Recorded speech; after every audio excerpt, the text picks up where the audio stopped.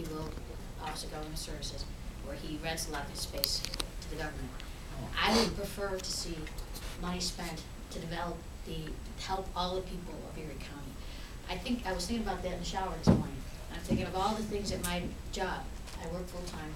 Uh, I work with kids in schools, graduating from high school, and they can't find jobs. They get some skills in the schools.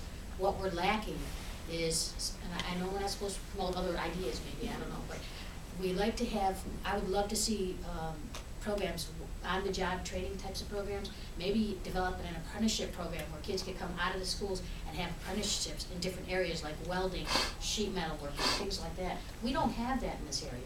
We have employers willing to hire, but we don't have the training here. I don't know if you're into having training facilities, but I'm sure a lot of businesses, small businesses and, and corporations could give you the space and the, the development to have people in internships so that they could later be hired. Something like that that would benefit the people of Erie County, not just a couple of people and result in some minimum wage jobs that are gonna last a short period of time, and it may not even be new jobs. And if you do give this money to Paladino, um, or to any developer, whatever project you have, get it in writing, how many jobs, and how much they're gonna pay, not minimum wage, but real living wage, something like twelve, fifteen, twenty dollars an hour Hmm. types of, uh, pay. And that's about all I have to say. Right.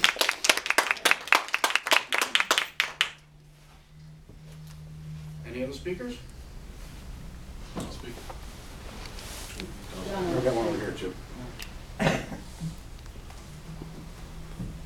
I'll be State brief. your name.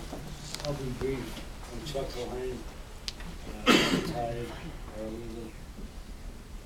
Uh, just kind of irks me that uh, the city would be talking about cutting NFTA jobs uh, and services for people who don't have cars or use uh, public transportation, and then giving hundreds of thousands of dollars to a person really that doesn't need it.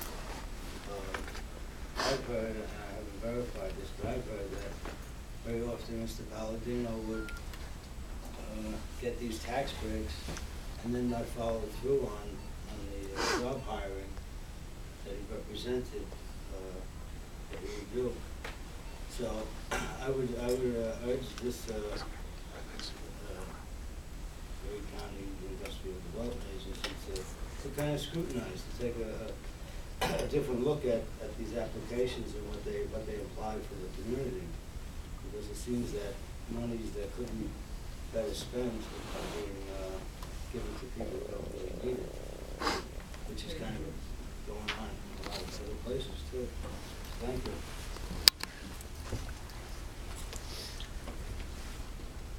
Any other speakers?